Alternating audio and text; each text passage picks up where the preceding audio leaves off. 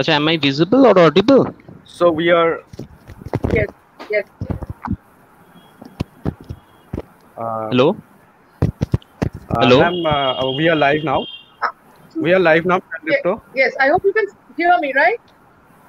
Yes, ma'am. Yes, we can hear you. properly. Uh, yes, ma'am. Uh, we Thank can you. Thank, you. thank That is okay. That is okay. Okay. Yes, ma'am.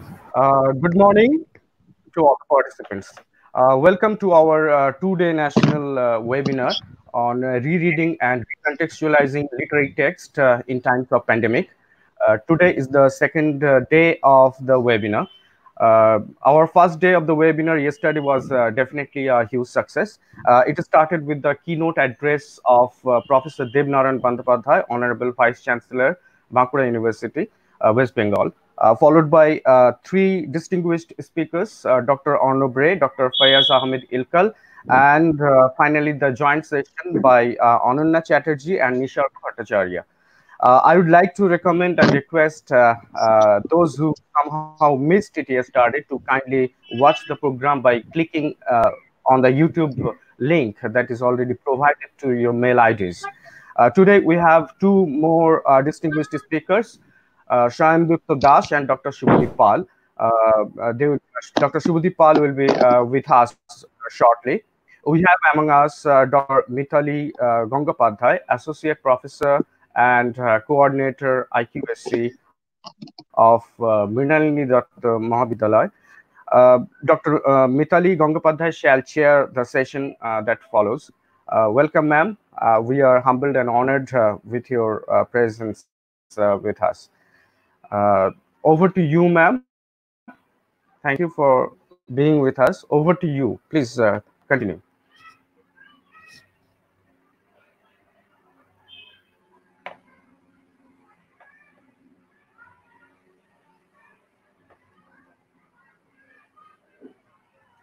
Ma'am.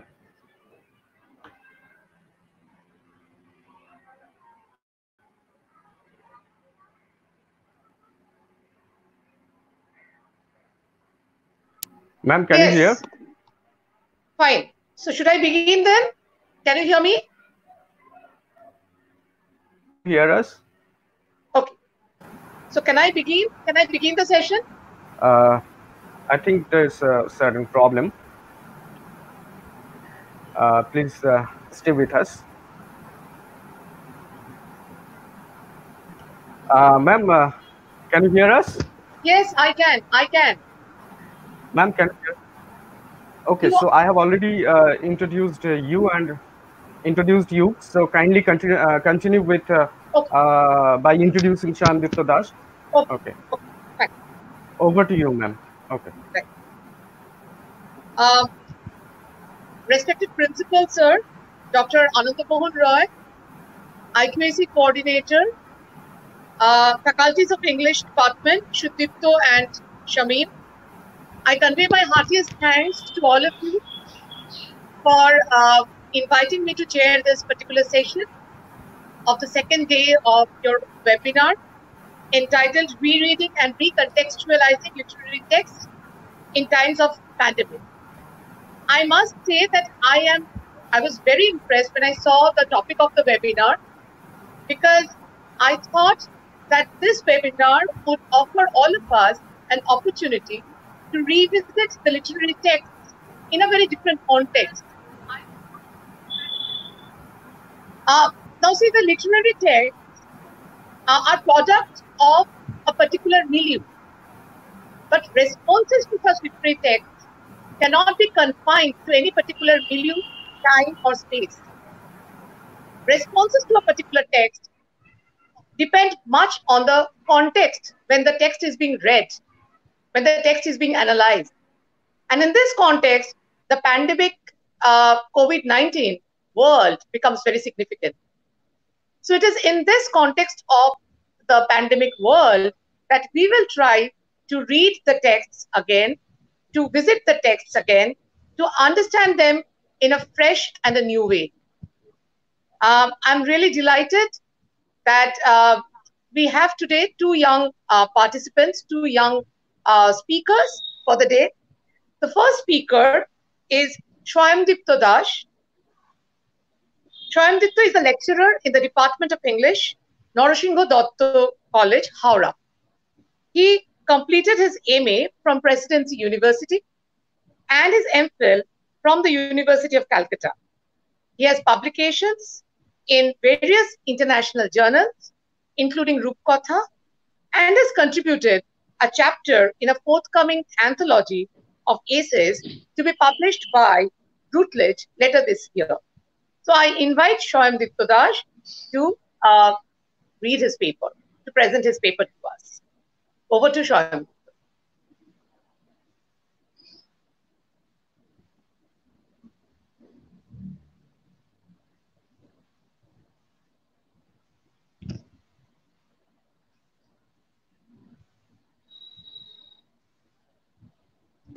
Thank you so much for the kind, intro kind introduction, ma'am. Uh, am I audible and uh, visible? Yes. Yes, Yes, you are. you are. You are. You are audible and visible. You are audible and visible, Shamdipta.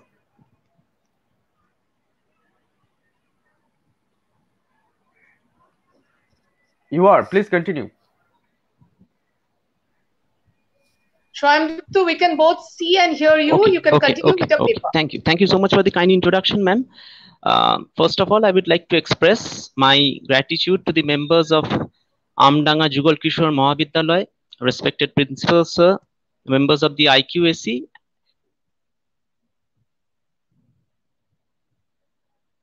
Sorry, I didn't get you.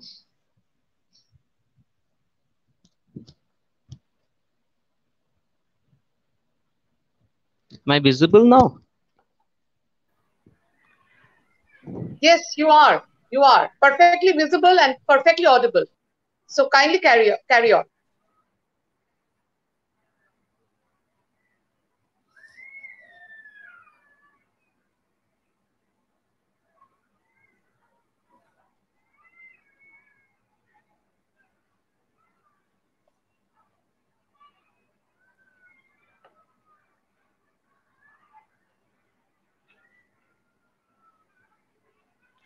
I think for some reason uh, he got disconnected. Uh, uh, I hope he will be back soon. Yes, uh, he's back.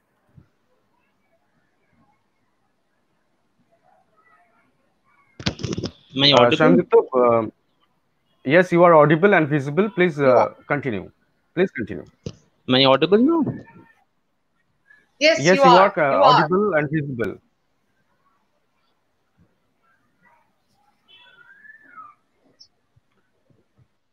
Thank you. Thank you. Kindly continue. Kindly continue with your paper.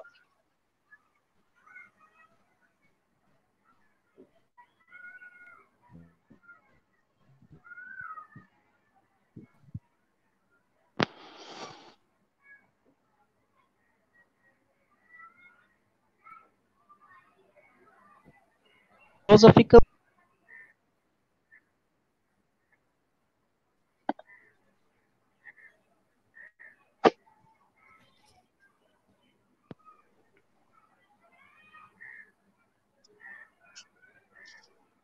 Shamim, for some reason, I think he is getting disconnected. Uh, yes, uh, that is a, an issue actually.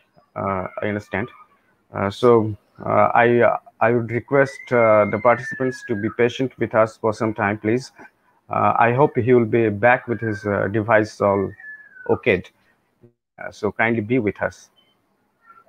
Thank you for your patience. So Shamdipta is back again. Uh, so Shamdipta, uh, are you uh, are you able to hear me? so is my Can you hear me? Can you hear me? can I start? Am I Yes, Yes, of course. Please. Of course, you can. Please start. yes, I'm he- able to Please hear you. Is my audio audio Okay, all right? Absolutely. Yes, yes, you're all right. Yes, I can hear you. You please continue. You please continue. Do not stop. Yes.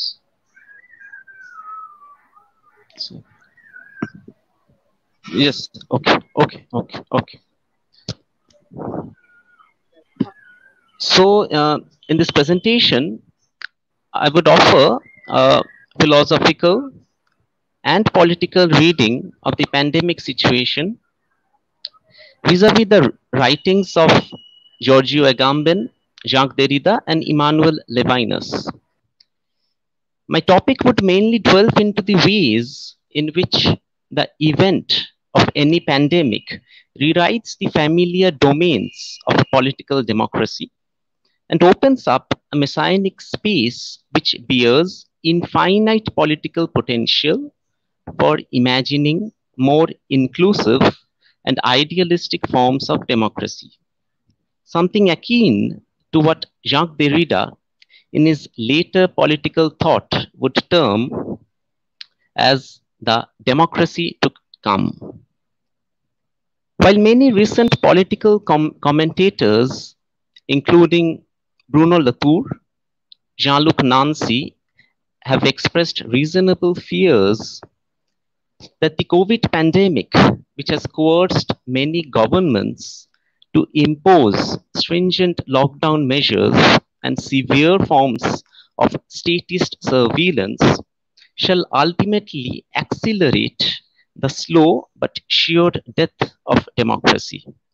I shall put forward a counterintuitive point that the event of the pandemic presents before us the face of a radical other or an unknown stranger, something which in Levinas's philosophy of radical ethicality prompts us to move beyond the ipseity or smugness of our selfdom and thus recondition the very contours of the individual and collective sovereign self. The ethico-political encounter of democracy with this radical alterity, which Levinas would also term in many of his writings as the ill-er, leads to an opening up of the democratic order to a certain kernel of uncertainty. An uncertainty which is not regressive or immanent, but, that, but rather transcendental in its messianic possibilities. Slavoj Žižek, in his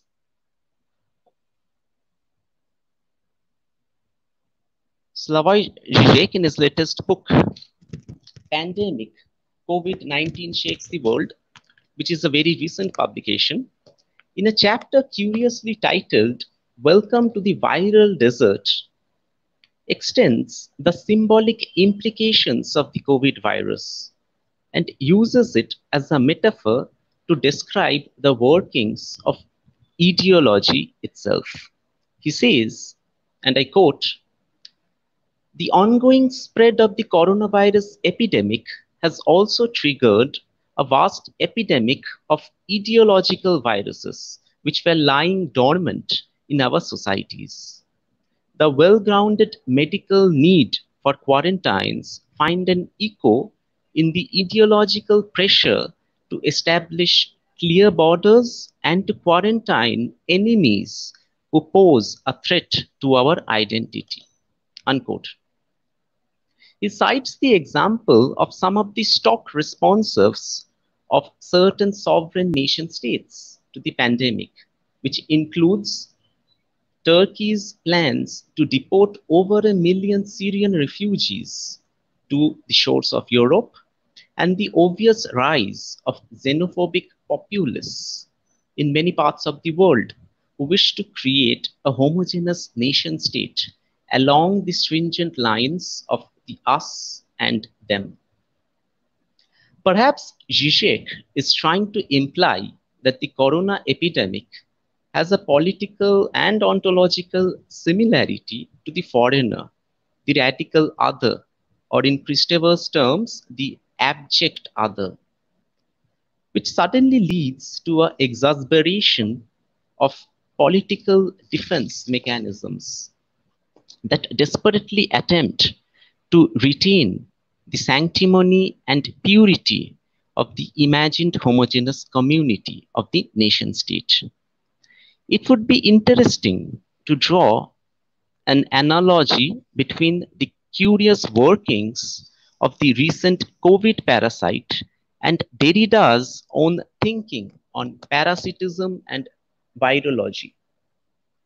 Derrida, in a book which was published in around 1990, Limited Incorporated, says, and I quote, It should be remembered that the parasite is by definition never simply external, never something that can be simply excluded or kept outside of the body proper shut out from the familiar table or house, unquote. In other words, the parasite is always already part of the host, whose specters forever haunt the dwelling of the self of the host, calling it to defend its oikos or its vital economy. The parasite, according to Derrida, is undesirable since it, since it interferes with what the host desires the most. That is, a clarity of borders, a certain distinction between boundedness and unboundedness of the dwelling of the self. The viral parasite therefore addresses us as an enemy only insofar as we identify with the body proper as the essential biological and political metonym of our life. The paranoid vision of a certain outsider interfering with the boundedness of the sameness of the self is often displayed in literary and cinematic representations of dystopias.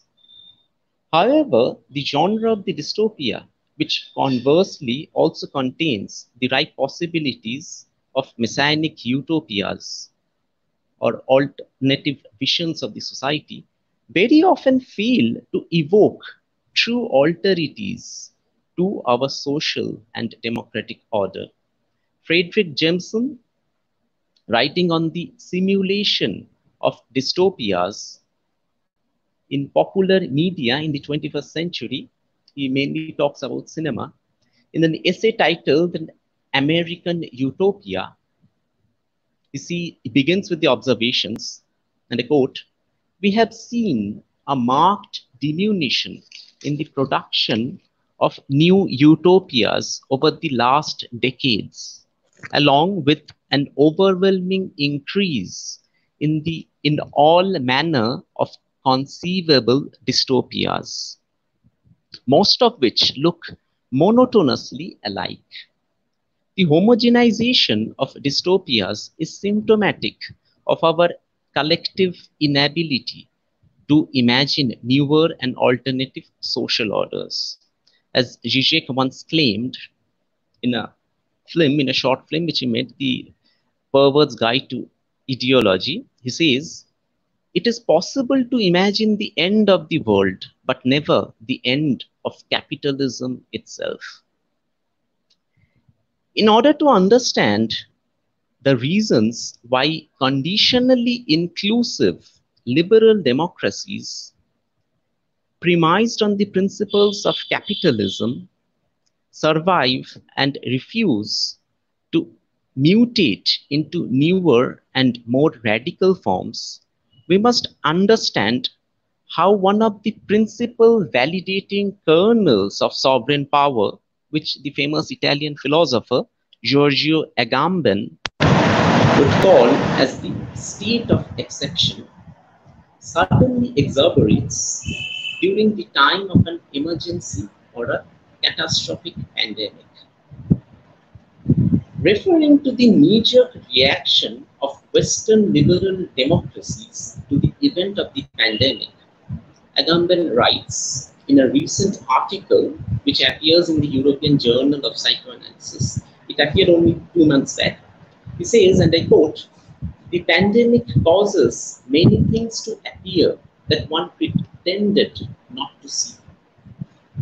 The epidemic or pandemic has caused to appear with clarity the fact that the state of exception to which governments have habituated us for some time has truly become the normal condition. The state of exception means the temporary suspension of democratic rights and the rule of law during which the sovereign assumes extraordinary legal and juridical powers in a bid to protect it from some foreign invasion.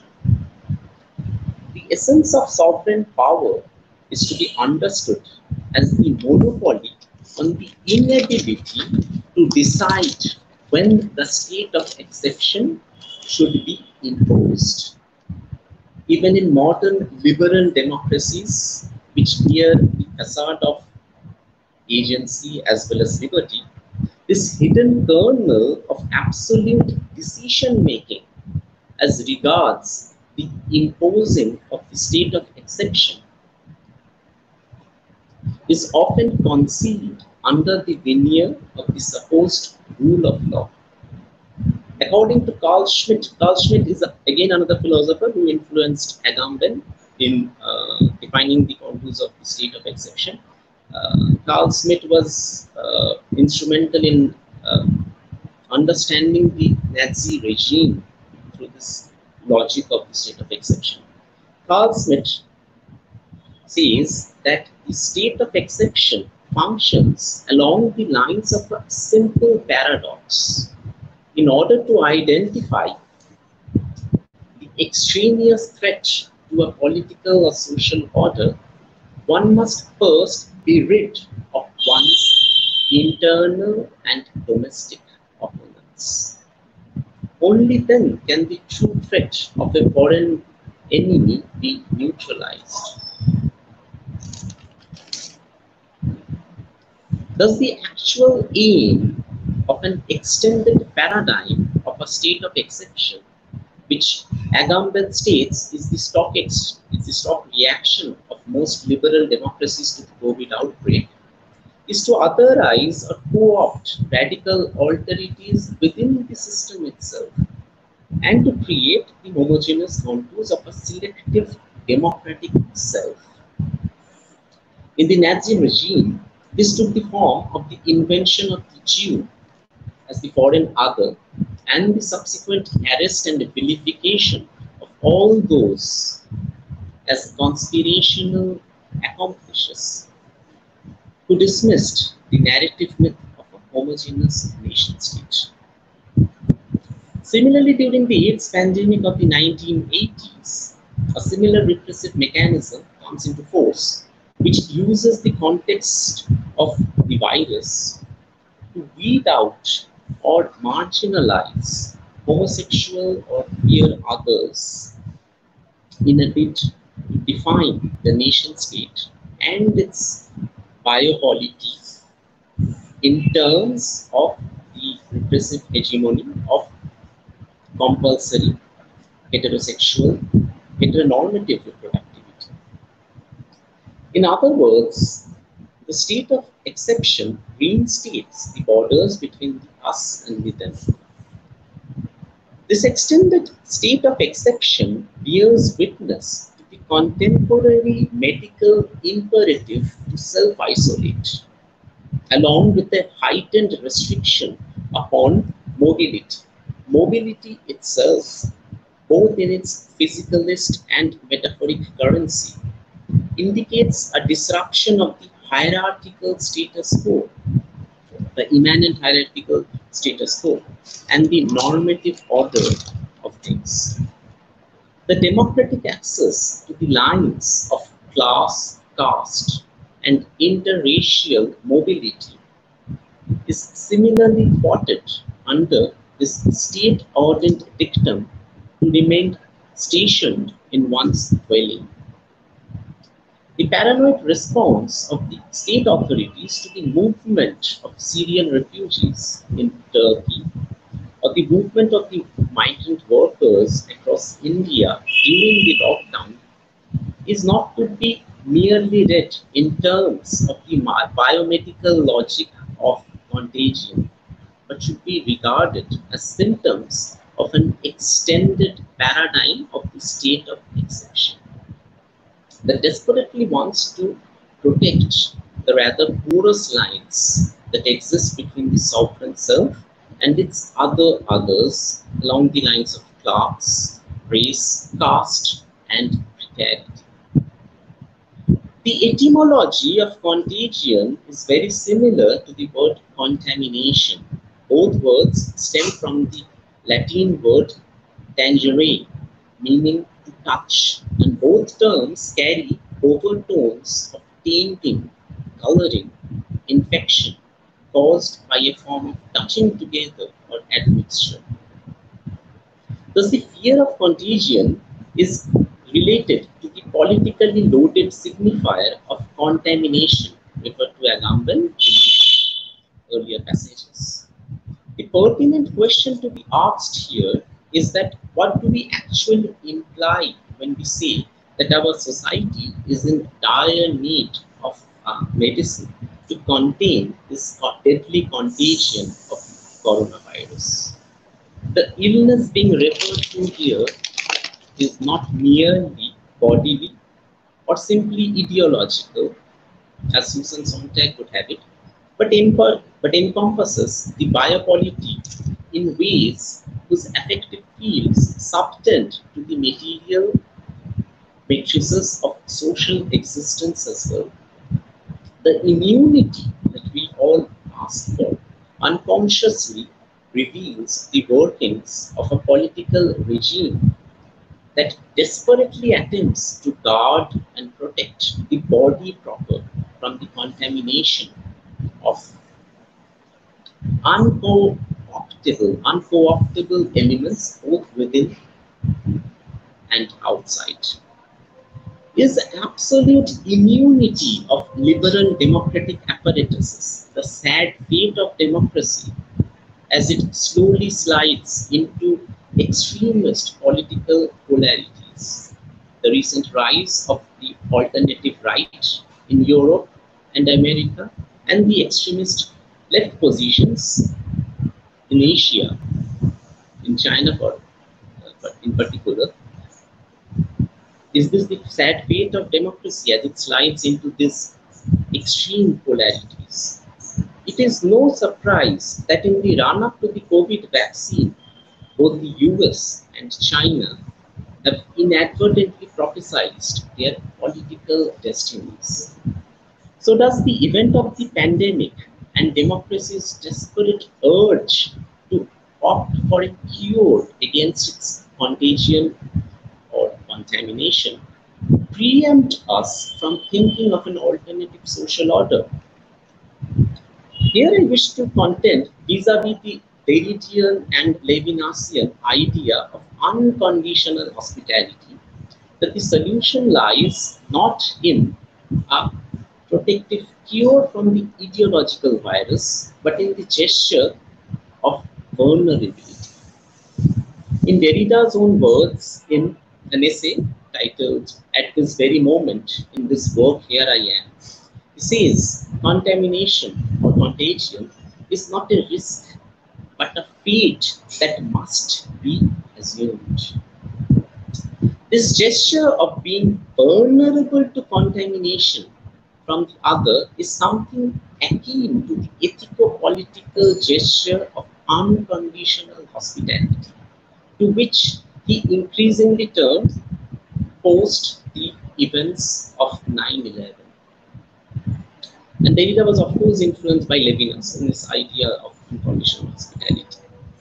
It uh, basically refers, unconditional hospitality basically refers to the welcoming of other, the stranger, without trying to appropriate its otherness. It involves a moving away from the totalitarian contours of the self and the welcoming to the other, even at cost of being dethroned from one's own dwelling or oikos or political economy. In Levinas's words, the gaze of the other calls into question my own being at home with myself. This gesture, however, entails a certain risk taking, and this is important. Why is it? Why does it involve a risk? Because it could subsequently lead to either an usurpation or a destruction of my own home or oikos. Derrida hints at this danger in his essay of hospitality. He writes, For unconditional hospitality to take place, you have to accept the risks of the other coming and destroying the place, initiating a revolution, stealing everything, or killing everyone. Unquote. This vulnerability of democracy to an uncharted risk of the radical other is precisely the auto-immunitary mechanism of democracy that shall resurrect its health and keep its messianic possibilities alive.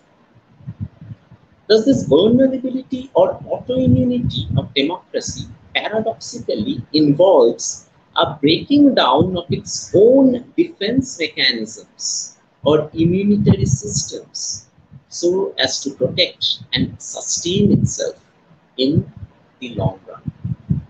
Democracy does, in order to protect itself and its alternative futures, must immunize itself against its own immunity or defense mechanisms.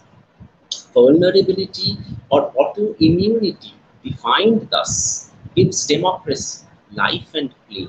And in the words of Derrida, it nurtures an opening to what is to come, the possibility of infinite recasting, reworking, and differential reiteration.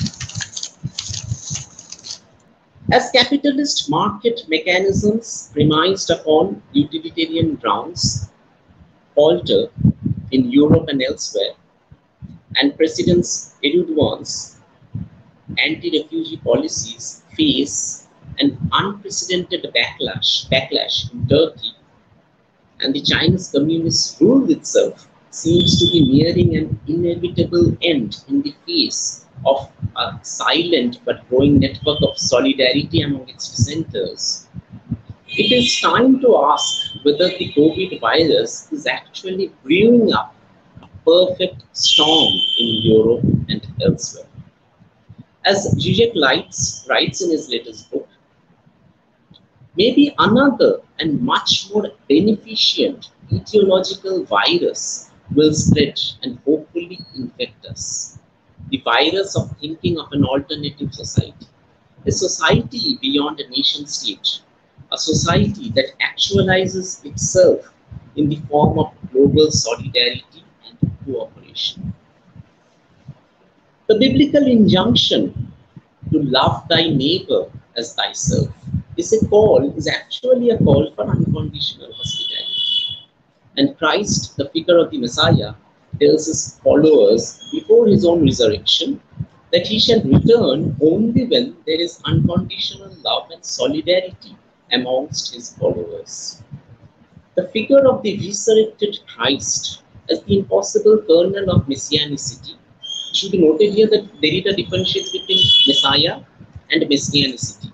He always opts for messianicity, something which never arrives in the first place. The Messiah never arrives. But in its waiting, we can actually possibly move beyond our own fixity, move beyond our own selfdom to something which is new, something which is to come.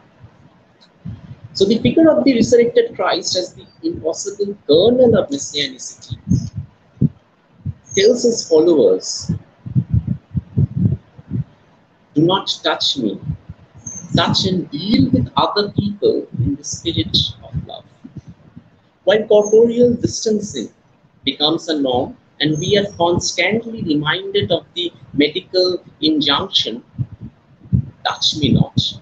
The COVID pandemic also urges us to gesture towards the distant future in an unconditional manner of hospitality, or the distant neighbor for that matter, in an unconditional manner of hospitality, and thus render vulnerable those defense mechanisms that render us as immune from the proximity of the neighbor.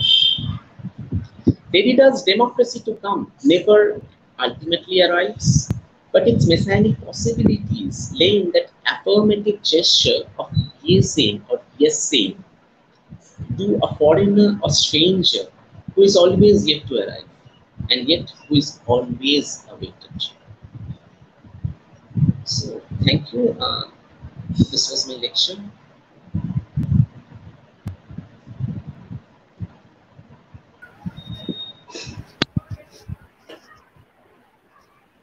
Uh, thank you, uh, Shandipto, uh, for your wonderful speech. Uh, I think uh, Mitali ma'am is uh, absent for the time being. So um, I would uh, like to um, uh, take you to the question answer sessions uh, myself. I'll flash the questions on Yeah, the screen so that you can also uh, see it. Okay. Uh, first of all, uh, there is a question from, you can see, Madhumita Bishas. Okay, okay. okay. So She's this asking the question question comes from in real life. okay, okay. The Uh, Madhumita Bishas. Uh, she is assistant professor of English, Khatra Adibashi Mahavidyalaya. Uh, she is asking you a question. Uh, in real life, uh, is unconditional hospitality uh, a possibility? In real life, I repeat, in real life, is unconditional hospitality hospitality a possibility? Well, thank you for the question, Odumita Bishwash. Um, well, um, in terms of pragmatics, in terms of possibilities, uh, conditional hospitality is the reality. If you take the case of Europe and its asylum politics, asylum politics meaning the conditional response to certain refugees arriving at its shores, we find that conditional hospitality is the norm, and Derrida is well aware of this. He always believes that unconditional hospitality is impossible, but in this gesture towards an impossibility, can we rewrite the rules and the contours of conditional hospitality? Rewrite perhaps the very codes of conditional asylum rules and laws. Uh, Derrida himself was an exile, and so was Levinas. Uh, both suffered as refugees in various ways. Uh, unconditional hospitality is an impossibility, but ethics precisely resides in this impossibility, in that future which is yet to arrive, in that future which is not yet imagined. And when we gesture towards that future, towards that kernel of unconditionality, can we actually rewrite the present in newer and more radical ways? So while conditional hospitality remains the only possibility in terms of pragmatic politics, unconditional hospitality is again something that we must forever gesture towards, that Western liberal democracies specifically must gesture towards. So I hope I have answered your question. Okay, uh, there is no option to get a reply from uh, uh, so I hope uh, the question is answered and addressed well. Uh, I have uh, next question. I missed the first question actually uh, from Sushmita Talukdar. Uh, Sushmita Talukdar, she asks uh, questions. Mm, uh, how would you explain uh, pandemic of 2020 uh, in refer- with reference to imaginative homogenizing nation, nation state, and border issues in liberal democracy? You can see the question uh, flashing on the screen. Yes, yes, So yes. I I, hope I got uh, your question. Thank you for the you are getting Yes. the question. Okay, thank you for the question. Uh, so, the pandemic of 2020 is actually an eye opener. Insofar as homogeneous nation states or the idea of uh, far right homogeneous or far left homogeneous nation states, which uh, thrive on racism, on xenophobia, which is also fundamentally anti-Jew if we uh, take into context the situation of Turkey under Erdogan's rule right now. So homogeneous nation states were already becoming a menace, a growing menace in a society. The pandemic somehow accelerates this growth. The pandemic gives every nation state a reason to cement its borders, to stop the movement, the mobility, the kernel of mobility. Mobility itself is to be understood in its metaphorical terms, as I've already said. So, by somehow weeding out Okay, I have a alterities that lie within, and this is the paranoid response. Uh, this is the paranoid response of most nation states to the pandemic.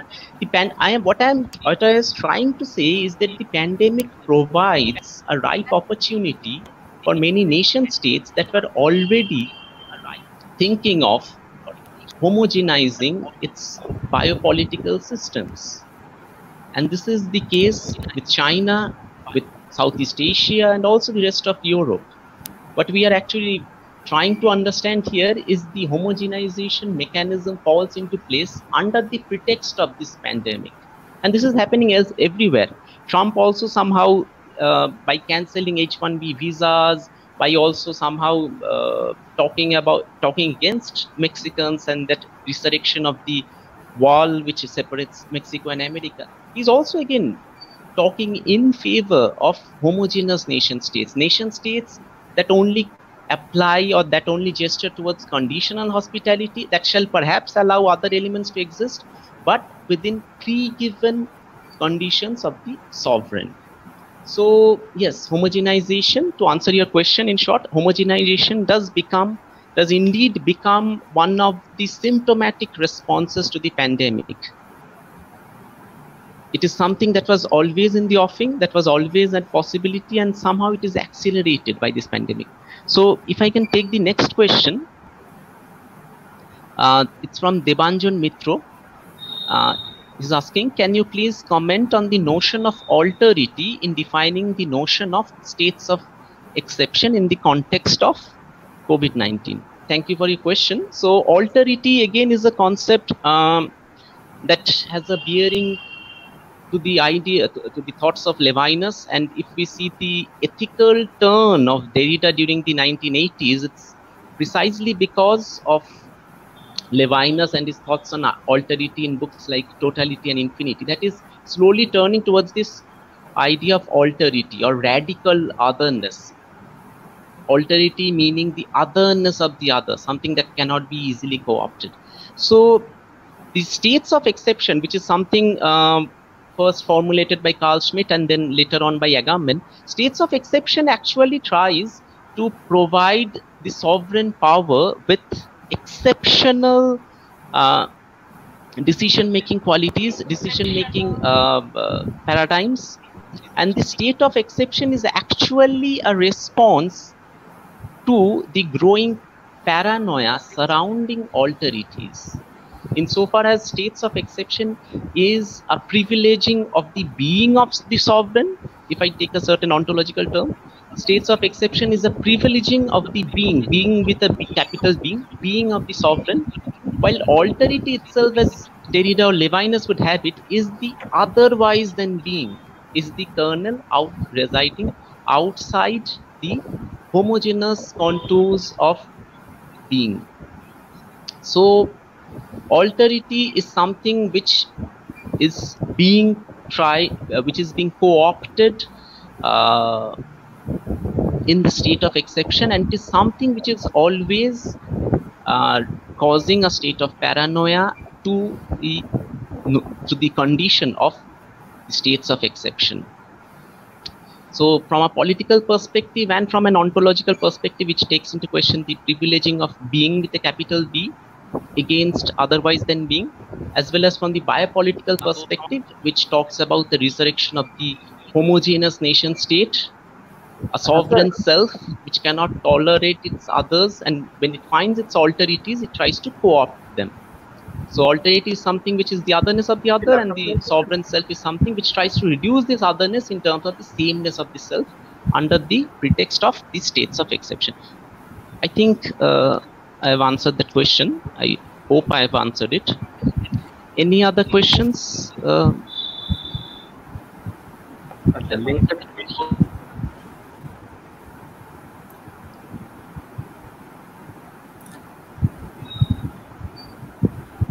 Yes, uh, we have another question uh, that mm-hmm. is from Swapna Roy. Uh, she's asking, mm-hmm. waiting is on mode of time, staying is a mode of chronicity? What do you think about unconcealed hospitality? Within quotes, unconcealed hospitality in context to the pandemic. Uh, I couldn't hear the first part of the question. Can you please display it on my screen? It would help a lot. Hello. Can it be displayed on my screen? I couldn't hear the first part of the question. Okay, okay. we're trying, we're trying display okay, on the screen.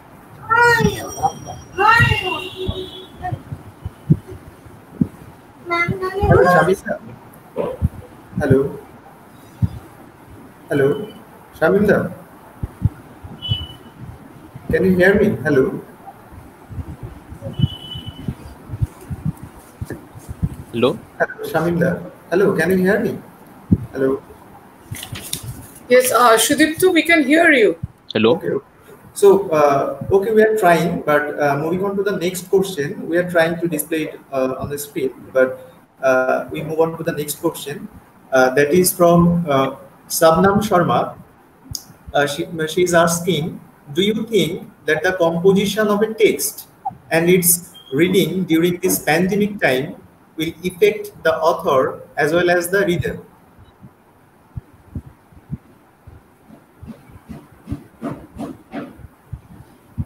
Should I repeat it? Hello? Hello? Okay, just could you please repeat it once for me? I missed a part of the question. Just repeat it once. Do you think? Yes, please repeat it once. Ye- Yes, I couldn't hear asking, it. One. she's asking that. Hello? I can hear you. Could you please repeat it, Shudipto? Yes, yes, I'm repeating. Uh, do you think that the composition of a text and its reading during this pandemic time will affect the author as well as the reader? I'm having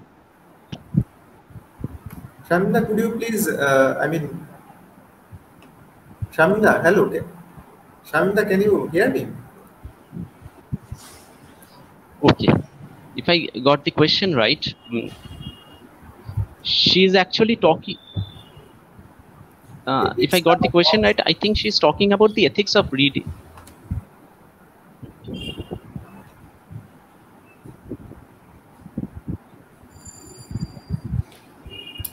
Uh, do I repeat Shabnam's Am I question? audible? Yes, you are. You are. you are. If I got the question right, I think she's talking about the ethics of reading. Okay, okay, ma'am. Thank you, ma'am. Thank you. Okay, I think uh, she's talking. Yes, I I, got. the I, I question got the question on my screen. Uh, I, I got it, ma'am. I got it, ma'am. It's displayed on my screen. Thank you. Uh, do you think that the uh, so sh- so the question is do you think that the composition of a text and its reading during the pandemic time will affect the author as well as the reader? So okay uh, mm, so far as i understand it uh, the idea of a text itself becomes very flexible very fluid. Its text is not anything that consists of a book a literary book or anything else. Text is everything. The text is the society the culture everything. So uh, but she's talking i think she's talking about the ethics of reading. Yes the ethics of reading itself is uh, related to the conditions of unhospitality of uh, hospitality of uh, unconditional hospitality in many ways. Insofar as a deconstructive reading renders porous the idea or the kernel of a sovereign author.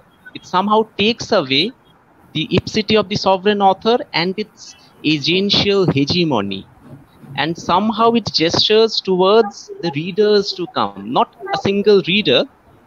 She has talked about the reader in singularity but i think the readers to come. So this uh, paradigmatic shift from the author from the agency of the author to the readers or the reader who awaits to read the text. And the reader who in turn is also a writer in many ways because reading itself is a form of writing. So i think uh, any deconstructive reading since unconditional hospitality is deconstruction a deconstruction of the aporias a deconstruction of the sovereign edifices that affect literary text that affect our democracies our social systems everything.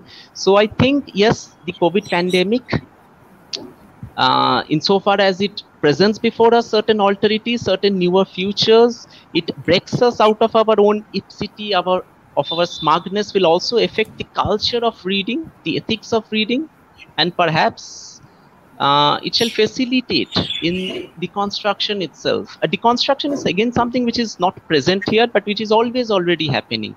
So, yes, of course, the shift does happen from the author to the readers or the readers who, who is to come or the readers who is always already another author in the making so i think uh, this is uh, this somehow uh, answers your question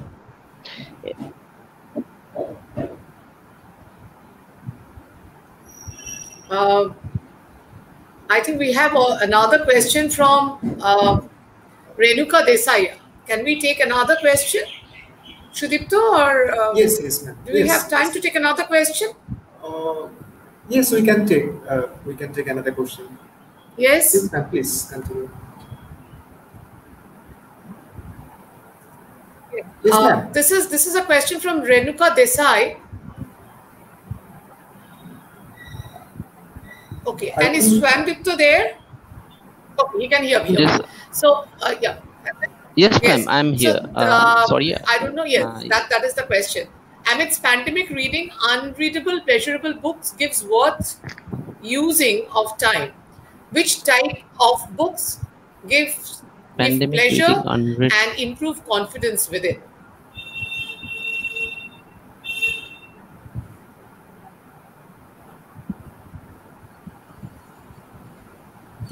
I think I think uh, what uh, Renuka wants to know is basically uh, which kind of books uh, should you advise uh, for I reading don't during think I pandemic really times? get your question, but um, if you're asking for Is there any, suggestions, any particular genre? uh, I don't think I'm in a position to suggest you anything concrete. Uh,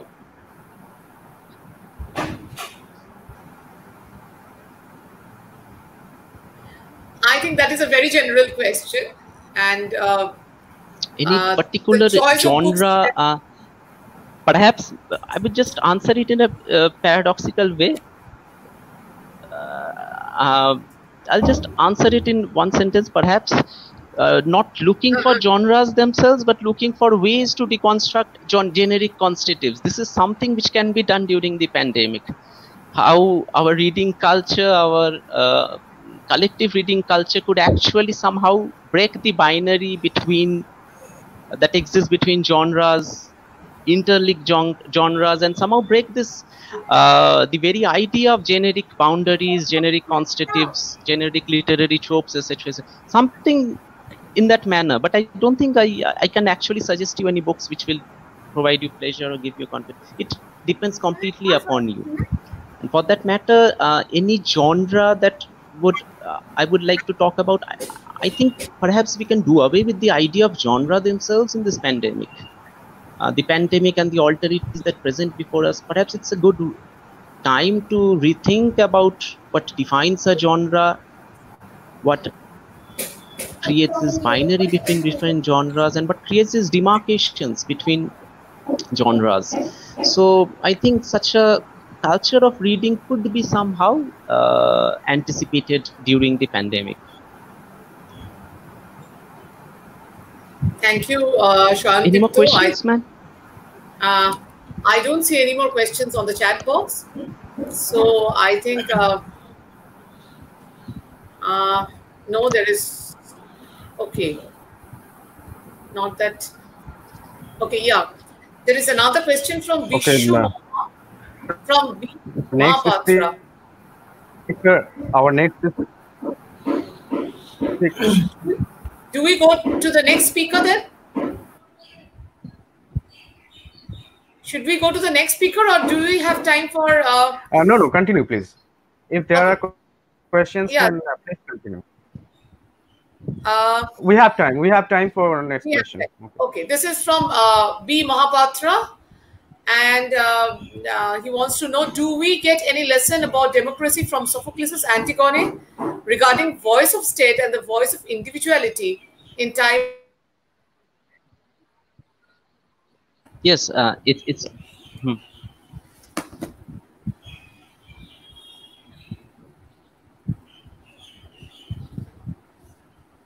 yes yes ma'am i can see the question. Uh, do we get any lesson from about democracy from sophocles antigone regarding voice of state and the voice of individuality in terms of in times of pandemic? I think uh, most of the greek plays not only antigone but also oedipus rex talks about or refers indirectly to a pandemic or a situation or a plague situation. Um, yes the main major conflict in Antigone is actually about uh, the voice of the collective as assumed by the sovereign and the voice of the individual alterity who cannot be co-opted. Uh, there is also a reference in Antigone to the uh, alterity of death, uh, to the rites of mourning. Um, so, but yes, but to, to uh, answer your question directly, I think uh, negotiating or perhaps gesturing an openness towards this voice of individuality is perhaps the most important thing. Something that vo the voice of the individual itself uh, deconstructs the collective we of democracy. The collective we of democracy assumed under the facade of a sovereign rule that is to be deconstructed through these individual voices. Uh, that is to be preempted of its agential sovereignty through these individual voices. And of course, Antigone and its context of the pandemic, how it's reversing the roles of the sovereign, the individual who cannot mourn death itself it talks about all these things in many ways the conflict between the individual and the collective we and how this collective in, uh, individual cannot be co-opted within the collective we um, it does talk about democracy talks but it's not actually talking about democracy per se but yes it does hint at the way a sovereign power should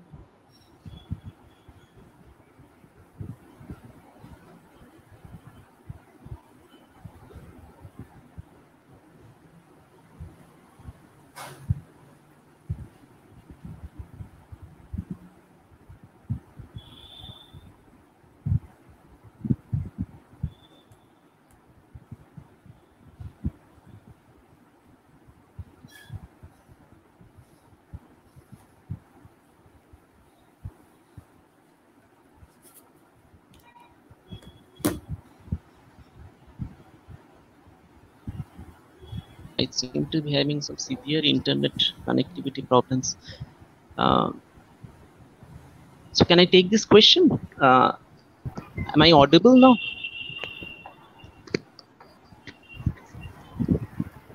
Shyamdipto, are you there? Am I audible now? Yes, you are.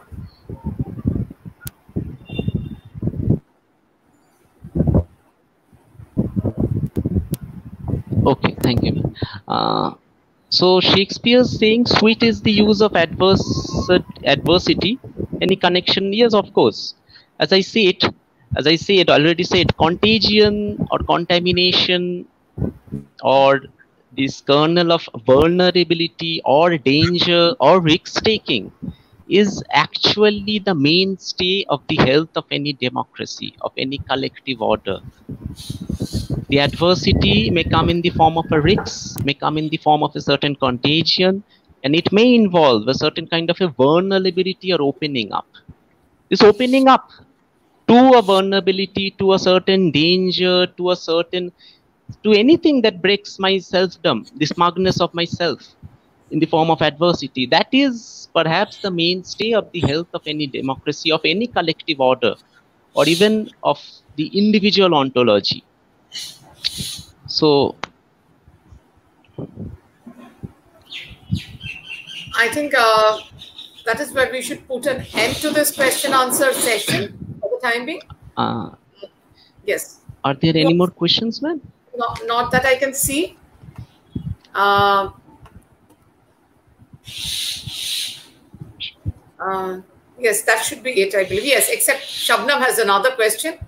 And what if we deconstruct the poem using feminist approaches?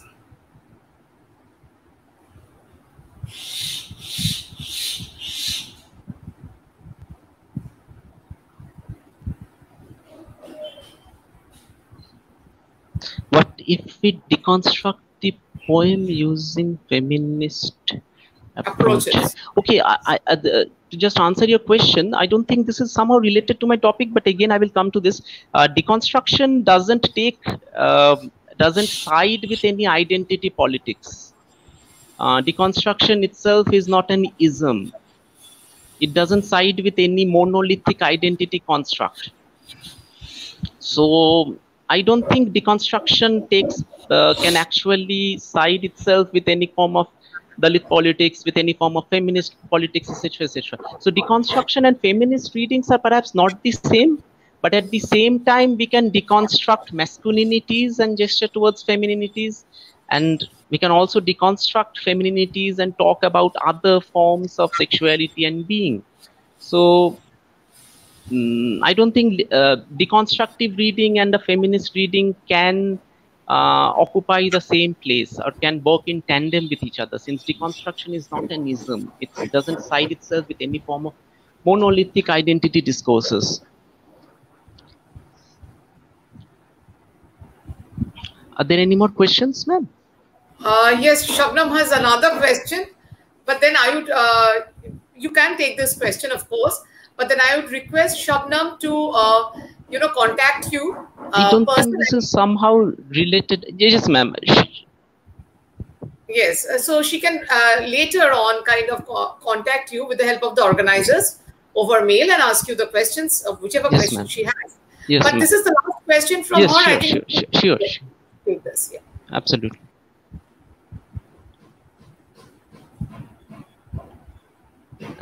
Absolutely. Uh, so, so the, the last question from her is literature is a mirror to society and novels are considered as direct mirror to society. But your audio is not clear from my end. Uh, can you read the question, Shwamdipta, which is on the screen? Can you see the question on the screen?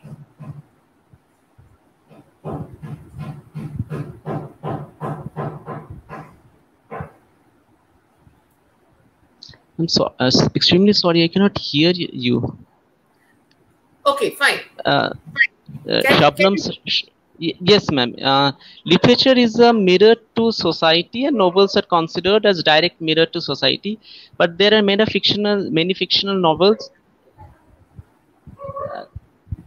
Uh, then, how can this type of novels be considered as a mirror to society? Firstly, I would like to say that reality itself is a construct. Truth itself is a construct.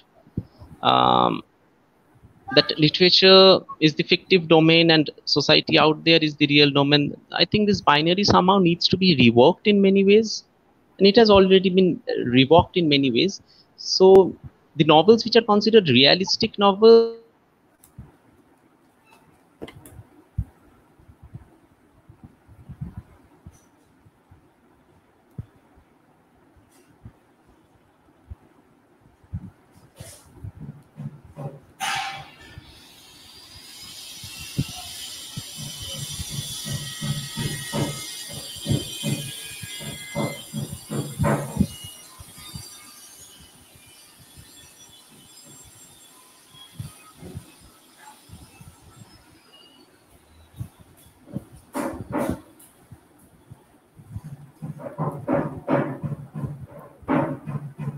Is he there?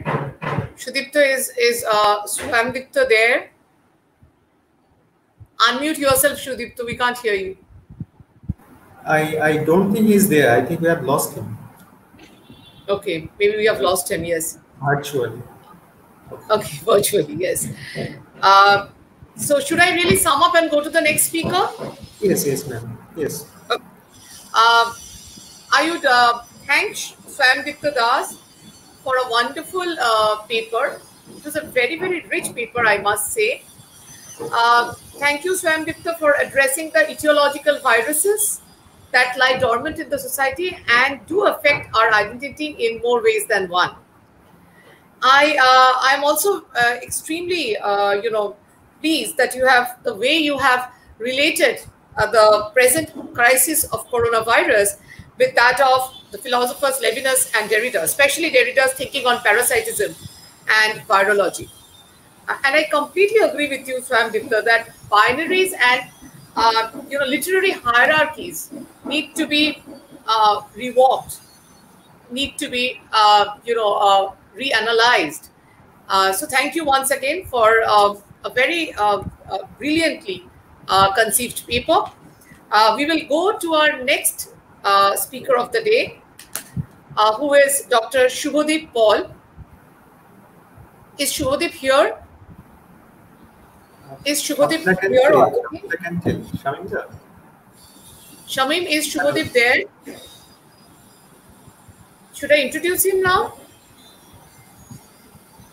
Yes, ma'am. Uh, please introduce him and we'll try to get to Shaman. Okay, fine, fine. Uh, Dr. Shubhodip Paul is currently assistant professor in English at Bankura University, School of Literature, Language and Cultural Studies, West Bengal. Formerly, he held a substantive post at Maulana Azad College and served as a guest faculty at Lady Brabourne College in the PG wing of the Department of English, Kolkata. He was a UGC Research Fellow at Jadavpur University.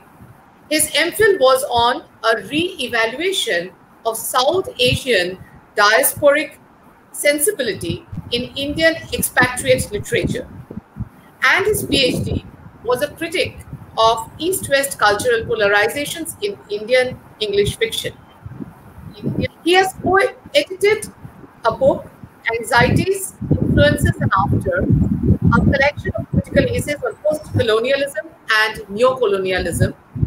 This is uh, published from Worldview Publishers in association with Wimbledon Press UK in the year 2009. He was co-director of a two-year major research project, 2016 to 2018, entitled Discoursing the Homeless Elderly, Tropes, Desires, Contentment. This was funded by the ICSSR in collaboration with the University of Swansea, UK. Uh, his fictions and non-fictional writings have featured in Blue Minaret Literary Journal, Arden Lamp Journal, the Four Quadrants Magazine, Northeast Review, the Sunday Statesman, the Telegraph, and Luath Press, Edinburgh. Finite Sketches, Infinite Riches, 2009, his first book of poems uh, was published from Writers Workshop, Kolkata, and that received a Google Scholar citation by Professor Shyamala A. Narayan in the journey in the Journal of Commonwealth Literature, published by SAIL. Uh, so a very bright young uh, professor among us, assistant professor among us, uh, Dr. Shubhodip Paul. Can we uh, now uh, ask Shubhodip to present Okay, his... uh, uh, there is a problem. We couldn't connect Dr. Shubhodip Paul. So uh, we are trying to connect him. And Okay. uh, in the meantime, I think uh, it will be okay to take a break uh, for five minutes. We'll be back right back here in five minutes.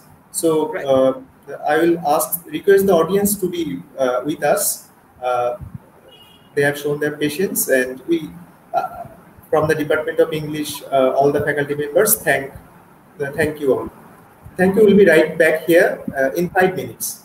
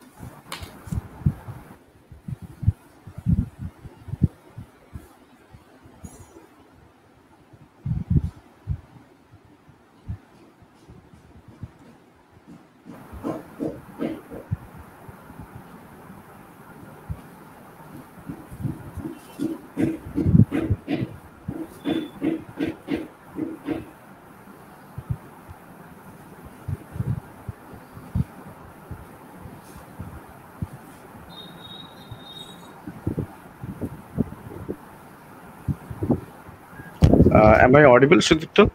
Yes, yes. Shamim, yes. please. Hello. Am I Yes. audible? Sudip- Yes, yes. Uh, yes. oh, okay, I'm uh, very much uh, sorry to announce that. Uh, uh, I'm very much sorry to announce that uh, our next speaker, Dr. Shubhadeep Paul, uh, he actually could not connect with us uh, on the webinar platform. Uh, so I would uh, like to call it a day. I like to. Uh, I would like to call ask uh, Sudipto Roy uh, to kindly uh, present his valedictory speech. Thank you, uh, Professor Shamim Reza. Uh, thank And you. uh, thank you, uh, Dr. Mitali Mitali. Gangopadhyay, ma'am. Uh, Yes, yes, yes, yes. Please Uh, thank you, ma'am. Thank you, ma'am, uh, uh, for your presence.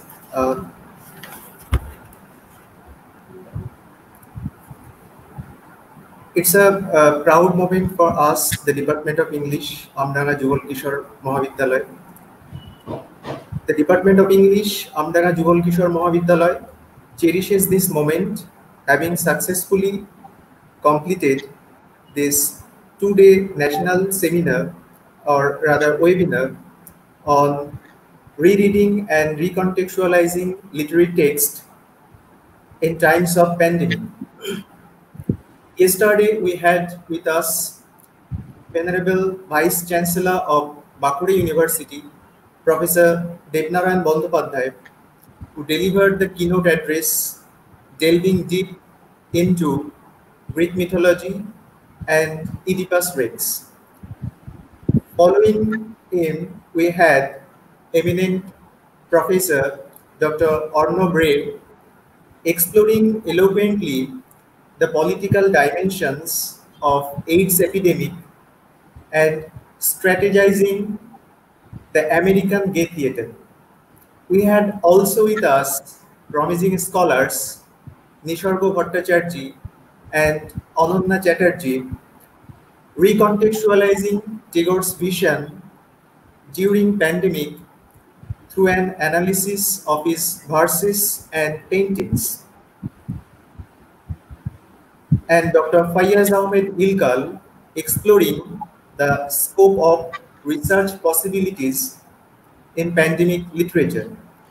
Today we listen to uh, another promising scholar, Swayamdipto Dash. We couldn't connect to uh, the distinguished professor of Bankura University, uh, Professor Shubhadeep Paul. So we regret that.